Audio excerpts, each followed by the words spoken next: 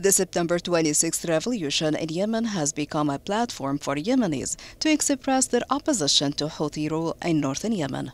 The revolution, which began in 1962, ended the rule of the Houthis' predecessors and established the republic. As a result, the Houthis have launched a wave of arrests, detaining dozens of activists in Ibb. Leaders from the General People's Congress GPC, founded by the late President Ali Abdullah Saleh, have been arrested.